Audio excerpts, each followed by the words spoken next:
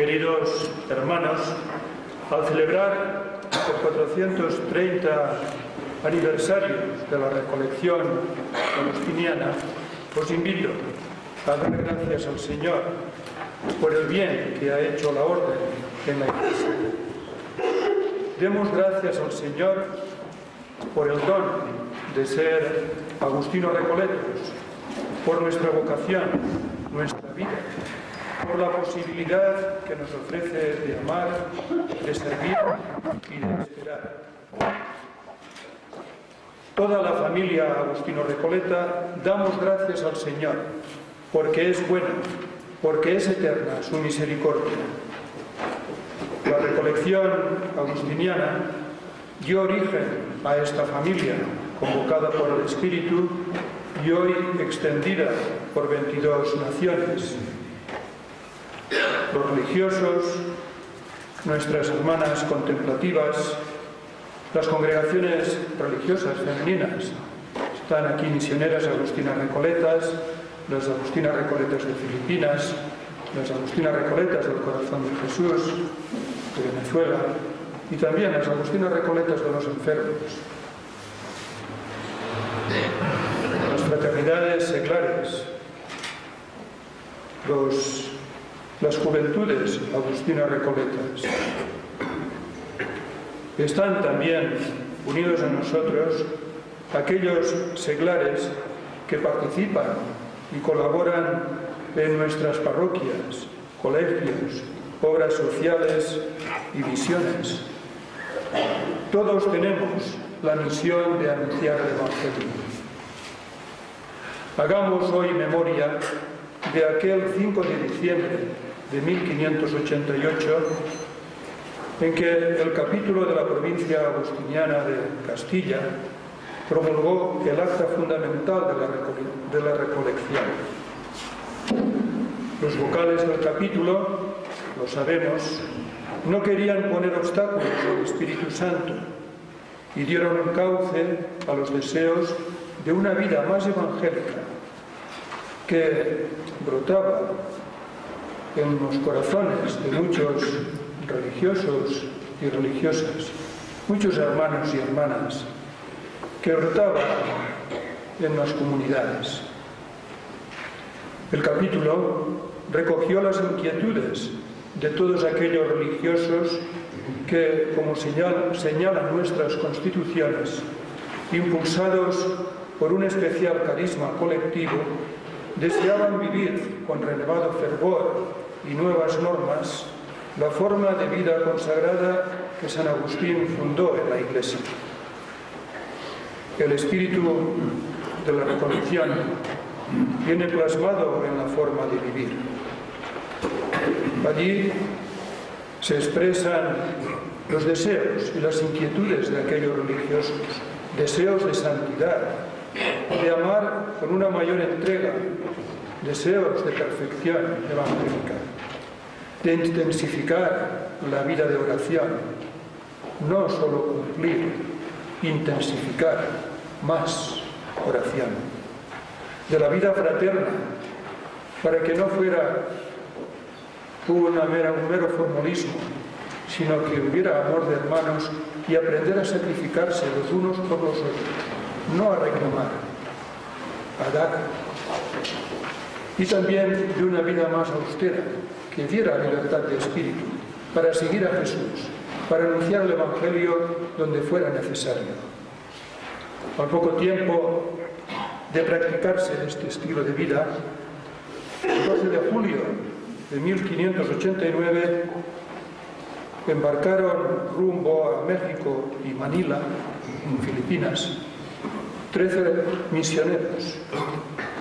En 1604 se inicia la recolección en el desierto de la Candelaria en Colombia, que pocos años después se une a la recolección española.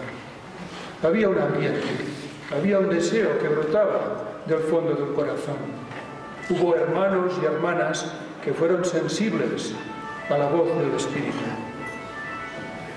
Recordar el origen y la historia de la orden, no podemos quedarnos en los acontecimientos humanos. Abramos el corazón a la acción de Dios que sale a nuestro encuentro en Cristo el Señor y que sigue actuando por su Espíritu también hoy en nuestros corazones. El hacer memoria del inicio de la recolección, el celebrar este aniversario, es para todos nosotros una llamada a responder como lo hicieron en su tiempo religiosos, religiosas, seglares, que movidos por la espiritualidad agustiniana querían vivir el Evangelio con coherencia, con disponibilidad. Percibían esa llamada y estaban dispuestos a arriesgar y a dar su vida. Pensemos, pensemos hoy en los testimonios de santidad y en la labor realizada por nuestras comunidades a lo largo de la historia. Hermanos que supieron anteponer lo común a lo propio, como dice la regla, no lo propio a lo común, sino lo común, anteponer lo común a lo propio.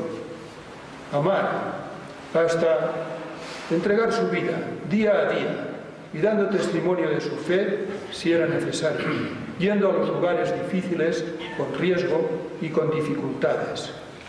No era el criterio buscar lo más cómodo.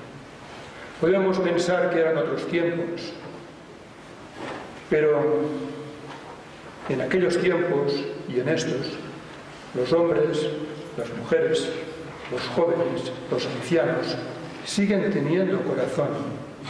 Y Dios, que es eterno, hermosura siempre antigua y siempre nueva, sigue actuando. ¿Qué es lo que ocurría? ¿Qué es lo que pasaba?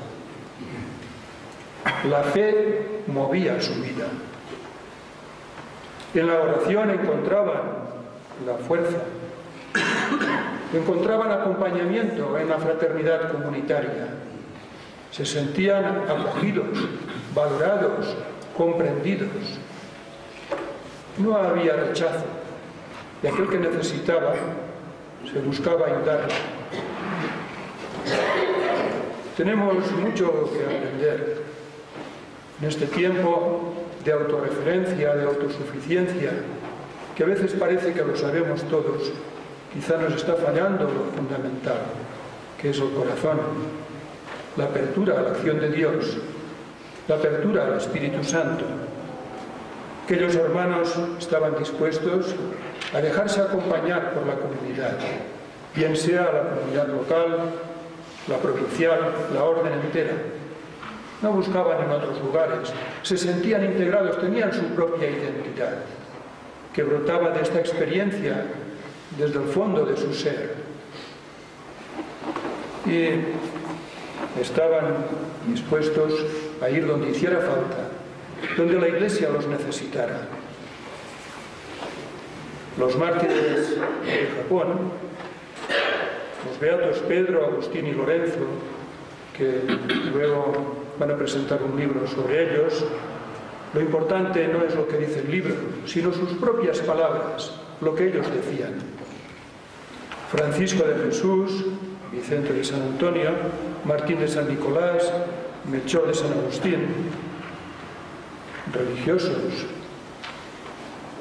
Magdalena de Nagasaki, seglar terciaria, Agustino Recoleta.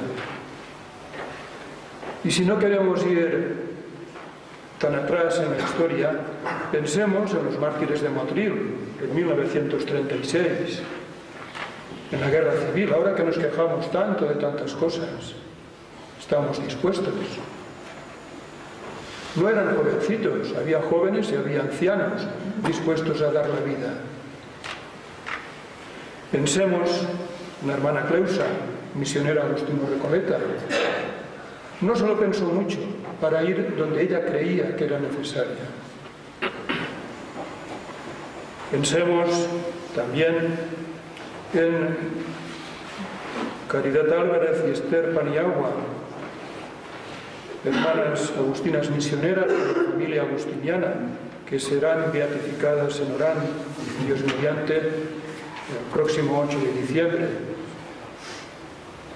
Fue en el año 94. Todos nosotros estábamos vivos.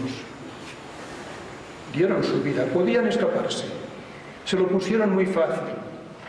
Decidieron en comunidad permanecer allí donde estaban. Cada uno de nosotros tenemos, espero deseo, nuestra letanía personal, aquellos santos de la orden con los que tenemos especial confianza.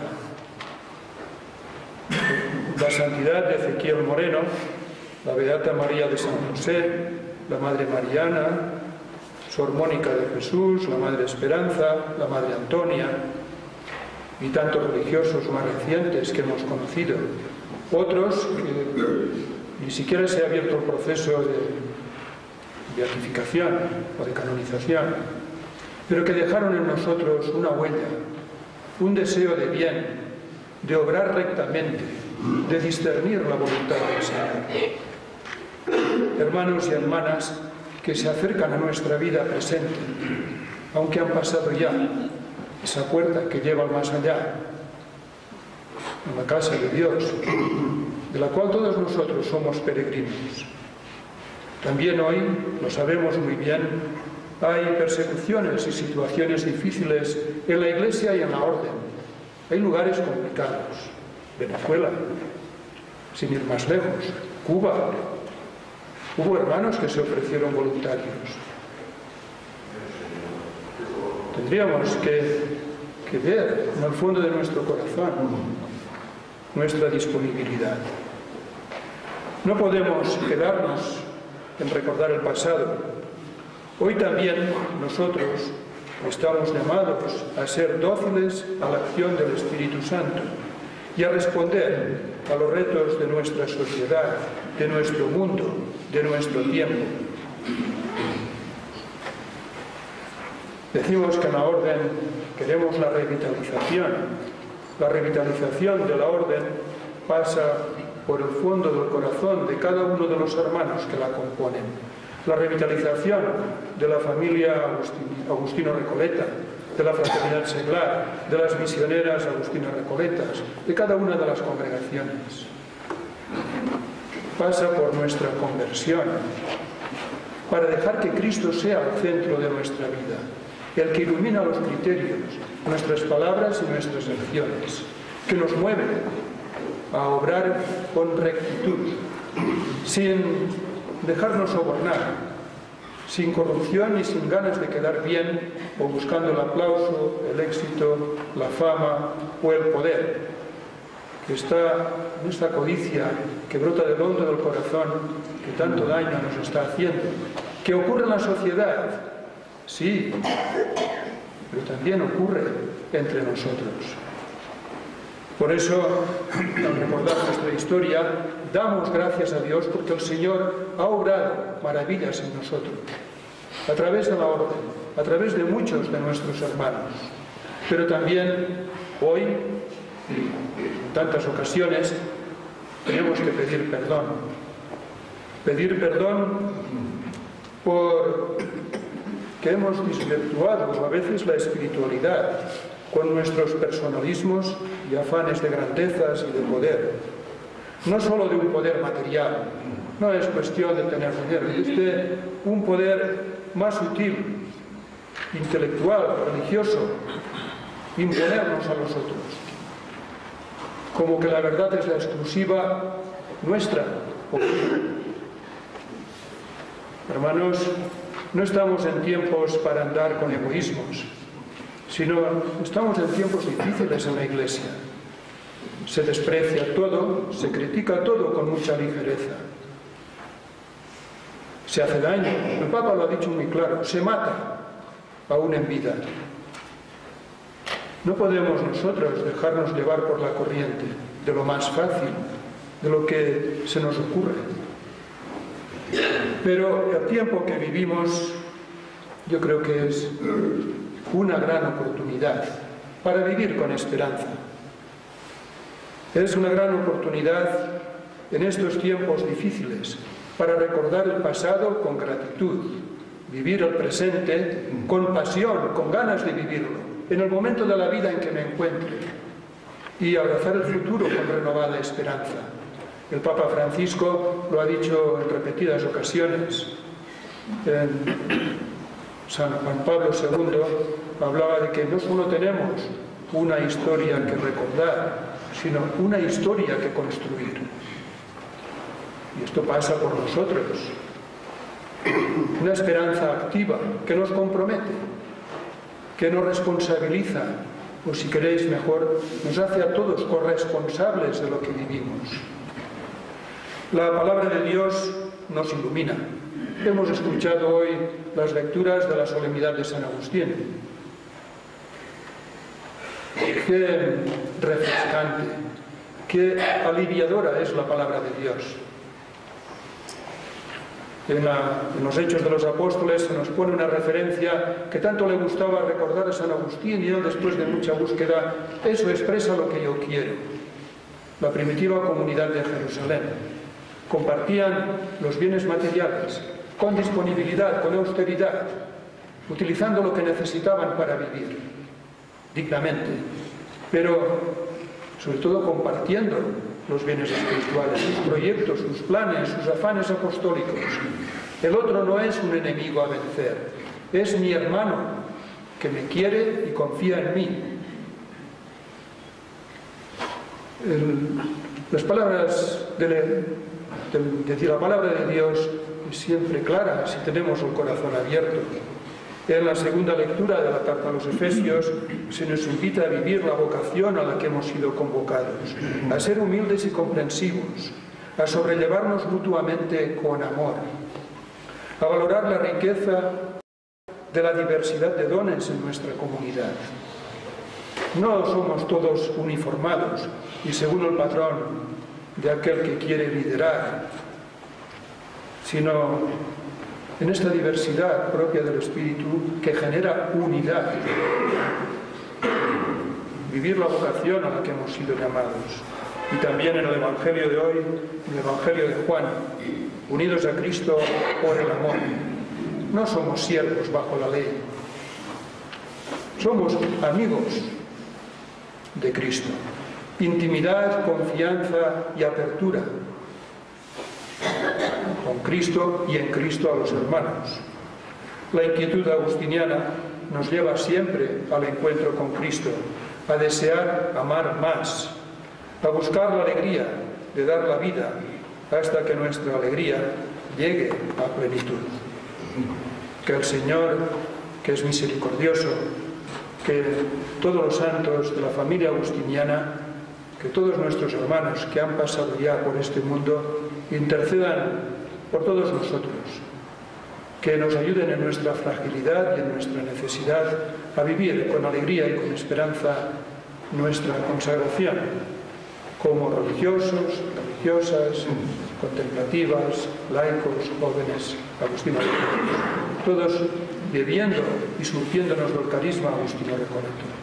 El Señor nos infunda todo su espíritu y bendiga las comunidades de toda la familia Agustín Recoleta. Que así sea.